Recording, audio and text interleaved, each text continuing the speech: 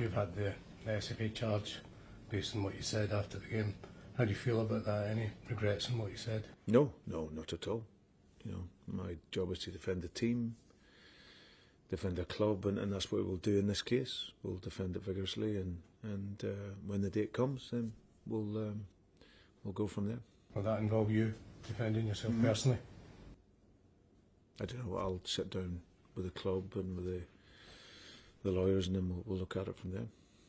Can you understand, Brendan, why you've been charged? Do you, do you think, if you compare it to other comments from other managers about referees this season, it's fair that your, your charges come to you? Listen, I, I don't want to. I don't want to go into that. You know, I said after the game, and it's that one game, but it, for me, it's obviously my observations over many games, primarily around the inconsistency of of decisions. You know, so um, but I don't want to go into it too much. Like I said, I never, I never talk so much about referees and haven't done over the course of my career. You know, I understand they make mistakes, um, but I felt the ones last week were um, uh, were, were were clear clear errors in the game. So um, so like I said, the you know I've said before the the first one I've seen incidents worse than that, and and I thought the the on-field decision was correct. You know the the yellow card.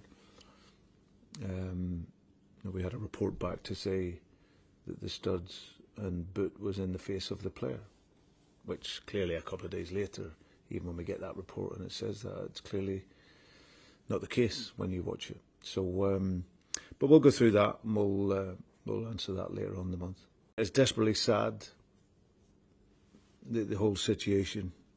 Uh, fantastic young player, come in here as a 19 year old uh, young man and uh, into another country and came and, and, and lit up the, the field with so many fantastic goals and had a really successful period. And whatever doubts he had in the summer, he was really happy to commit, signed a new deal, and um, and then now through probably no fault of his own or the club's, it's um, he then has had to leave to take his career elsewhere. So I spoke to to Liel on uh, on Monday Monday evening. We uh, had him around the house and just you know, because I knew he was probably going to be travelling the next morning but um, but desperately sad because I, I really really was looking forward to working with him over a period of time, see if we could improve his game and develop his game. And um, but if you look back, he's he's created some wonderful memories here, you know, Celtic and I'm sure Glasgow will have a, a big place in his heart, and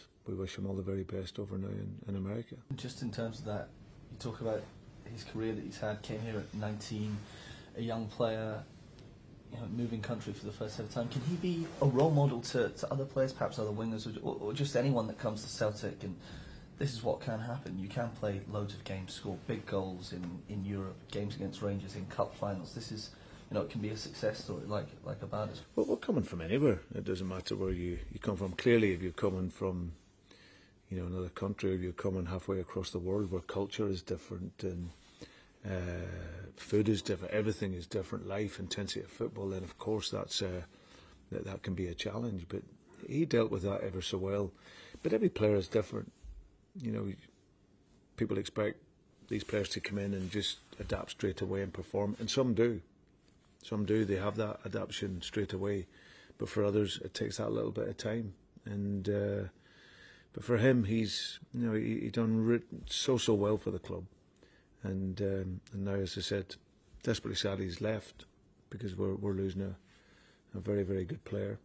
Um, but we wish him all the very best in his future. A very tough situation for everyone involved, Brendan. Can you give us any insight into the conversations you've had over the course of the last few weeks about trying to resolve it with Liel? Was there ever a, a pathway to maybe getting him back in the team? Can you, can you give us a bit of information on kind of how it's how it's progressed?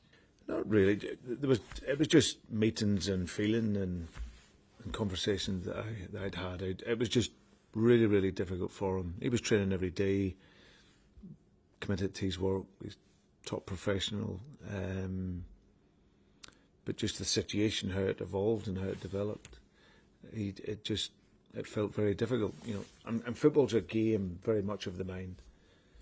And if you're not quite focused or you can't put something aside or something as big as this here, then of course it, becomes very, very difficult to be at your very, very best. And that sadly was the case with him. You know, we, we spoke most days, just checking in and make sure he was okay and seeing him in his training. But uh, but ultimately, he, he wants to play football.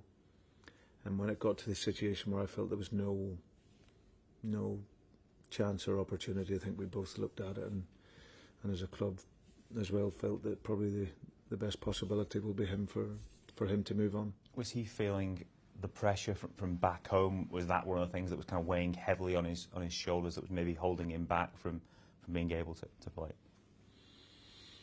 No, listen, it's clearly a situation that, like he said, it was it was unplanned, and and wherever it comes from, he just there was multiple reasons for him not, not to be in that frame of mind. So, um, but yeah, listen, it, it's done now. It's done. He's moved on. Had a great two and a half years here at the club. Done very very well, and uh, we we have to move on. In football terms, is a disappointment for you because obviously he made such a big impact, still had his best years ahead of him. There was perhaps huge potential still to tap into. A regret that there isn't a way other than this for it to, to move forward. Yeah, well, absolutely, because he's he's really only at the beginning of what I would call the asset age. You know, from between 22 and 29 years of age, that's when you're going to grow and develop, and then find yourself at the the top of your game. You know, he was 22, so he just begun really. So, uh, so yeah, and that's why I say it's desperately sad that we haven't been able to. Uh, see him here for longer because I feel that he will grow and he will develop. He has a natural instinct to score goals. He's really a striker that played wide. Uh, you look at his movement, you look at his intuition in the box to get goals, and and of course any team would always want that.